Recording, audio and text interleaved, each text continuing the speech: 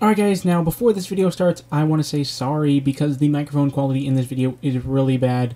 I didn't realize it, but when I actually moved the microphone, I guess I moved it into the wrong place, and it didn't sound very good when I was listening to it. So I just want to say sorry about that. It will be fixed in the next episode, and hopefully you guys don't mind it that much. But anyways, thank you guys for watching this video, and enjoy the rest of it. Peace. Alright guys, today I want to talk to you guys about the whole freedom theory going on around uh, Five Nights at Freddy's 2, the trailer where Foxy jumps at you, if you actually slow it down, people are thinking Foxy is screaming freedom, as in he's jumping at you, killing you, and I guess escaping. Now that's what I actually want to talk about in this video. Now, first of all, I'm going to the Steam community forums for Five Nights at Freddy's 2.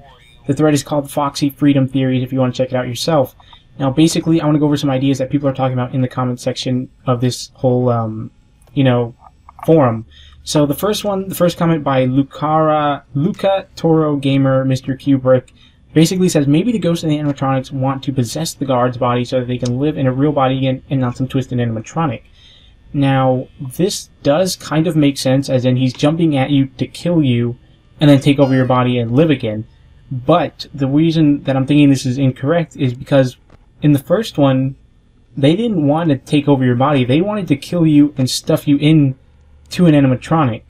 Now, I don't know what the new animatronics are going to be doing in this game, but from the trailer that we saw, that's old Foxy. That's not new Foxy. So old Foxy doesn't want to do that to you. He wants to stuff you in a body unless he's actually, or in a suit, unless he's decided to turn, change his mind and he's want to escape now. But I'm not really thinking this theory makes all that much sense from him, but it is possible. Now, the next one I want to talk about is from Zero, or Zero, Zero Faggy Nine. These guys got some really complicated names, and he says I actually think he's getting he's saying get rid of her, as in get rid of Foxy 2.0, or maybe there's a new girl character that's scary and Scott hasn't revealed yet. Theory commence. Let the theory commence. So this one actually interests me a lot, but the only thing is I don't really hear him screaming get rid of her. But if he is, I do want to talk about this. Um, basically, it does kind of make sense. He's screaming get rid of her, but what doesn't make sense is he's screaming it while killing you, so that really wouldn't make sense either.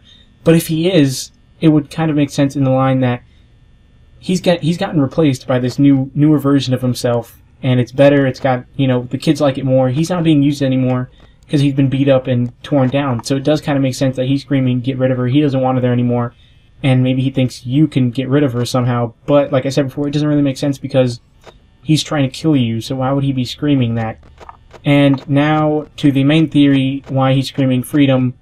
Like I said before, I don't think. I mean, it does kind of make sense. He would be screaming freedom as he's killing you, but where would he go? As in, you know, he's going to kill you, but then that doesn't. It just doesn't link with the main story of the game of how they're trying to stuff you in suits.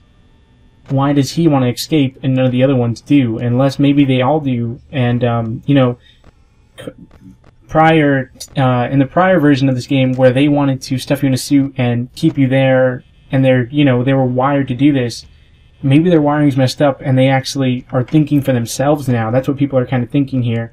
And they want to escape now. They don't want to be in this place anymore. They want to kill you who's holding them in here watching their every move and just escape. So that is basically the freedom theory right now. I want to know your guys opinion on this I think there's a lot of you know beliefs with this whole theory here, and I think it could be going really far if it actually if he actually is saying freedom.